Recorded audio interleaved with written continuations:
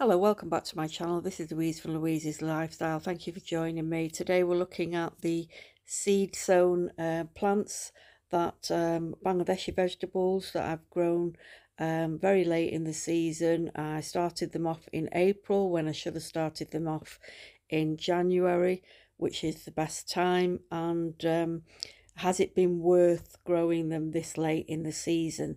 So we're just going to nip to the greenhouse and show you the plants. Right, so here is my greenhouse.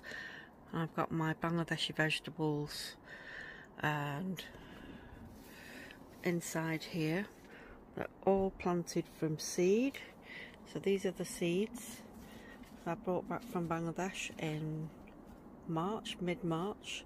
I didn't get round to planting them till April because of um, my husband was in hospital uh, for a month so things got delayed and normally would have planted these seeds in January and that would extend you know the growing season because it's very short growing season here in the UK so these are what I have planted this Bangladeshi kodu which is this plant here there's a couple of plants in in the one pot there.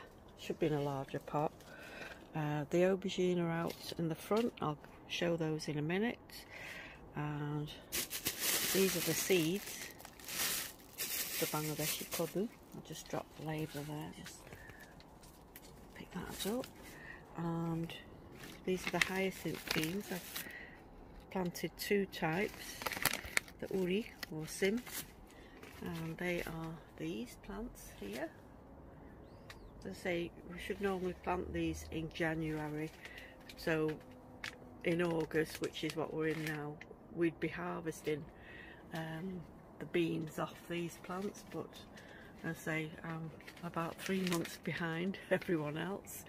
Um, yeah so everyone that I you know subscribe to uh, who grow Bangladeshi kodu or lao bottle gourd harvesting great big bottle gourds now and I'm just getting flowers. Um, so there's a male flower there so hopefully it'll start producing female. I think they start with the male flowers first and then uh, you get female flowers after. So I'll start pinching off the tops of these and hopefully that'll produce uh, more flowers. And these are the beans the um, so these are what uh, these are. Just put that down so one variety I think is this one here it's got the dark purple stem so I think this is the one that produces the uh, purple flowers so these are the beans hopefully I'll get from it. I think it's starting to produce little flower buds I think. I'm not sure. I did grow uh, hyacinths beans last year at my friend's allotment and uh, had quite a good crop off there but uh, and and actually I didn't start those off until April either so you know um, with them being inside a, a greenhouse maybe I've got more chance, you know. So if we get an early frost, let's hope we don't get an early frost, but in September it can happen. Um, they'll be in here and hopefully um, there'll be enough insects around, you know, like hoverflies, etc., to pollinate, you know, uh, whatever fl flowers, female flowers, hopefully. Um, you do need female and male for a lot of these um, like this Bangladeshi uh, kodu. See that one there had a had a male flower on it. It's just shriveled up because obviously it won't produce anything. And also I've got uh, Karela. So let me see if I can find the Karela seeds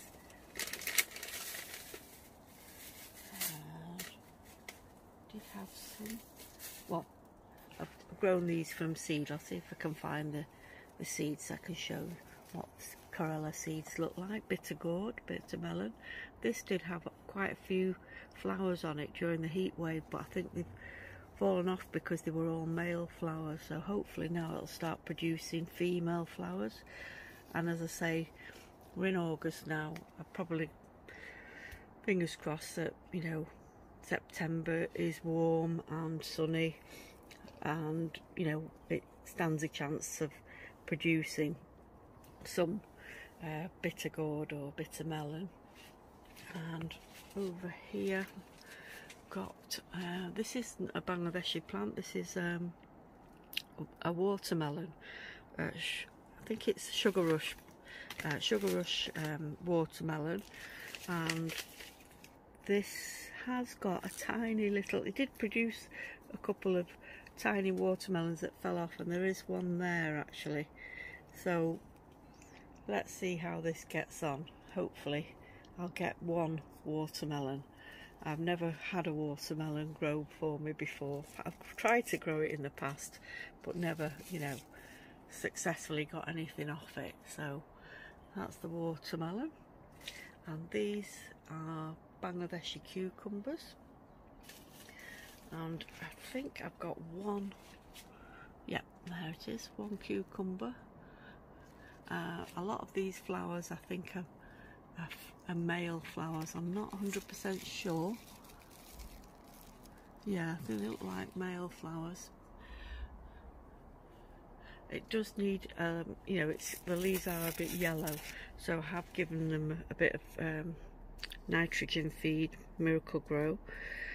Uh, so hopefully the leaves will green up a little bit. So these leaves are looking, you know, a little bit better than the ones down here.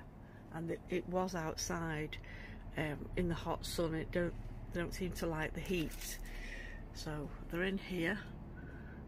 And hopefully I'll get some cucumbers off it. And down here I've got this is pottle um, Trichosanthes dioica um, pointed gourd so a lot of people, uh, Bangladeshi people who grow what they call Chinese pottle. That isn't pottle. That's that's a completely different uh, type of gourd altogether. This is a perennial. The first year you grow it from seed, it will just produce leaves, and the following year it will grow. It'll continue to grow. It won't die off. It won't die off like these. Um, so all these are just going to die off uh, in winter, but this will continue to grow and hopefully if I keep it in a frost-free environment um, it'll get bigger and next year I'll have some pointed gourd or pottle uh, what else have I got oh I've got some datta or amaranth had loads of this you know had tons of it sown um, and then the slugs and snails uh, got got to the I've got a larger one outside in the front. I'll film that, and um, and my aubergines are out at the front as well. So I did plant uh, some aubergines. I'll just see. There it is. I've got the. So I've planted these, and they're out at the front. So we'll have a look at what they're doing. And what else? Oh yes, I said I'd get the um, bitter gourd seeds out. I'll just find them. Right, so these are the bitter gourd. So that's the seeds.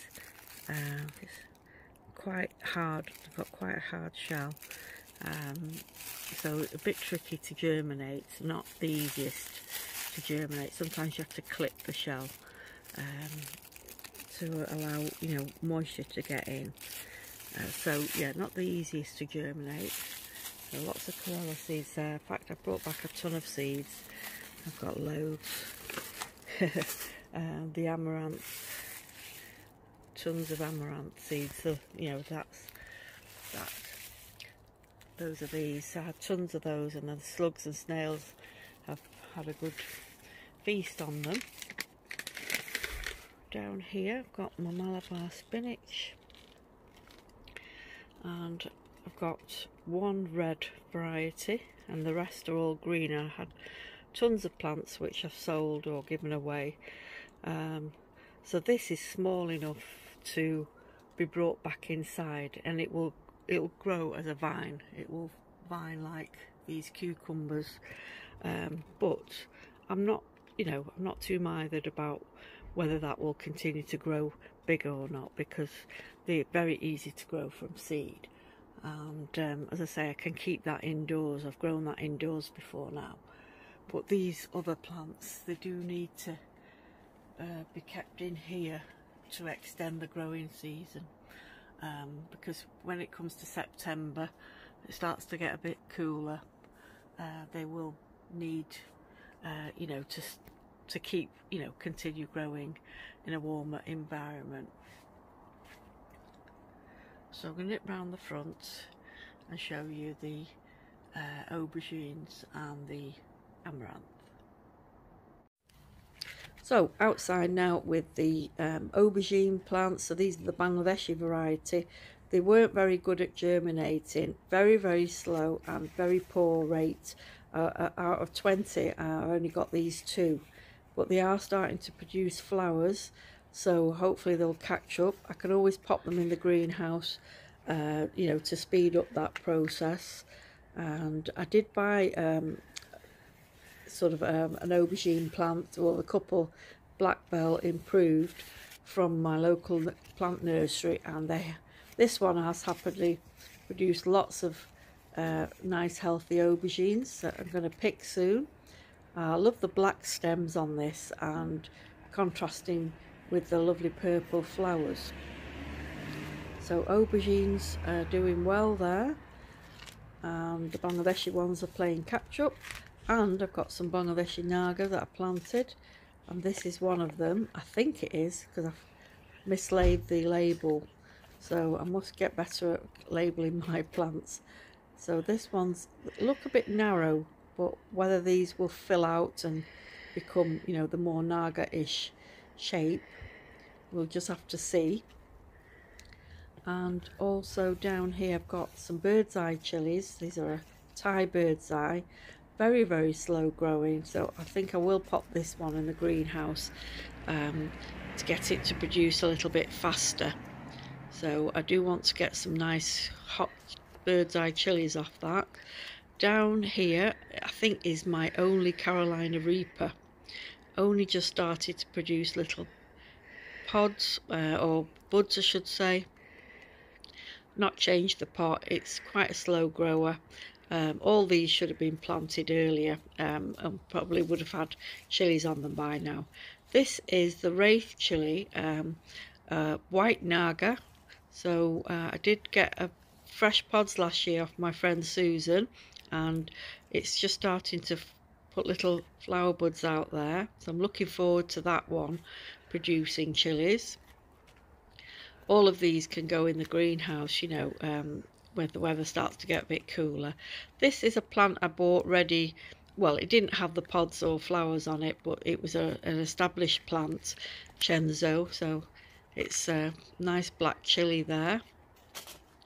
And what have we behind here? Oh yes, this is the amaranth or Dougie or Data.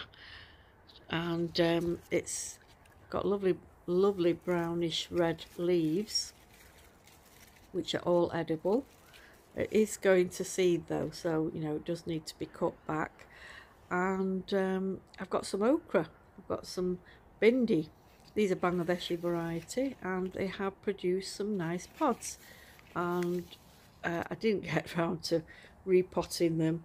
You know, they should have been in a bigger pot, but I'm busy with other things. And these are lots of surplus uh, Bangladeshi kodu or Banglalao. I did sell quite a lot of these and these are the ones that are left over so I never I never got round to taking them out of the little tiny pots they were in and last but not least is tomato plant moneymaker which is cropping really well so thank you very much for watching. If you've got any comments about my Bangladeshi veg leave them in the comments below. Bye bye